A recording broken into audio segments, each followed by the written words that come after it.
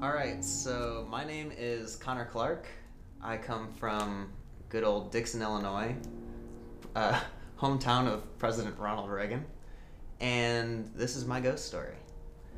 Uh, back in high school, graduated 09, I worked at the Discount Movie Theater um, right off the main street.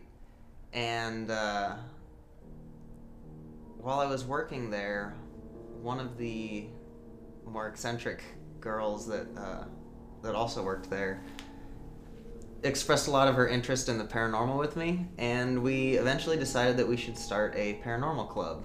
So we did, and we got a group together and decided that we should um, spend the night at the movie theater, obviously, and uh, after uh, after a movie one night, everybody left. We cleaned up, did our duties, locked the door, and then set up a couple cameras, and just kind of started uh, hanging out and seeing what we could find. So, at first, we went into uh, into one of the theaters uh, that this girl had always thought she felt a presence in. So she just kind of like leads me in there and uh, asks me to stand there for a little while and just tell her what I think that I feel. And after a couple moments of uh, standing there in silence and just trying to trying to see what's there, I I tell her that it almost seems like there's this uh, large older black guy over on the right side of the room that uh, is just kind of standing there and staring. And she just turns pale as a sheet and walks out of the room uh, all of a sudden. And uh, the other people in the other room see this and they, they ask me when I walk out, like, what, what had happened, what, what we saw. And I, I told her what I had thought. And uh, they said that she had been telling him that same thing for weeks. More importantly, though, at the end of our investigation, everybody was kind of wrapping up. But most of my time at the theater when I worked there was spent uh, as a technician winding all the the 70 millimeter film through the machine since we were still running on the, the older style machines which is the best way to do it, by the way.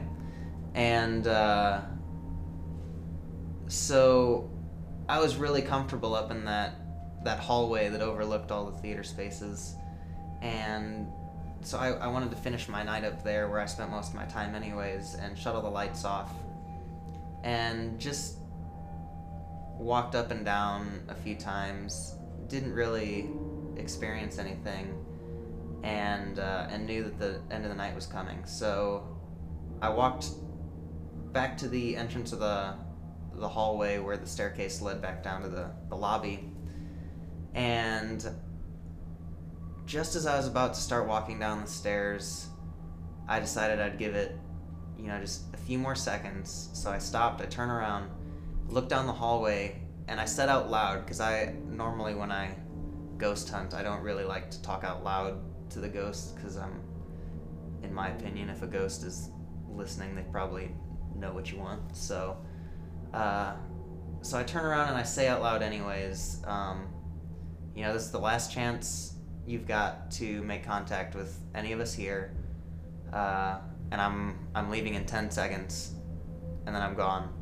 So I I counted down ten, nine, eight seven, and nothing's happening, so just keep counting in the darkness. Five, four, three, two, one.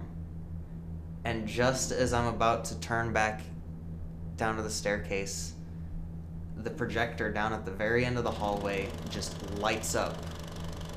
I mean, the whole the whole bulb is even shining on the ceiling and this this machine in particular is broken.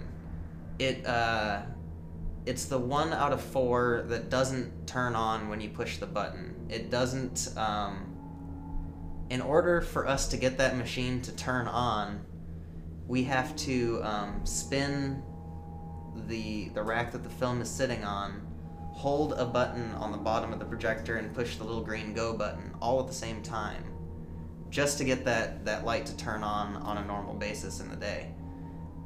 And at the end of that hallway, it just lit right up for three seconds and then went out. And I ran my ass down those steps and back into the lobby. And uh, that's my ghost story.